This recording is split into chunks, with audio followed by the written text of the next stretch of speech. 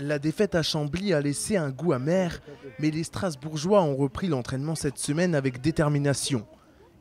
Il s'agit de tirer des leçons de cette défaite et de rebondir en Coupe de France samedi contre Rai-Pertzwiller. C'est sûr qu'on on était déçus du résultat de samedi, mais voilà, c'est comme ça, c'est le football. On va se concentrer sur euh, le match de Coupe de France et se remettre sur le droit chemin euh, pour euh, renouer avec la victoire.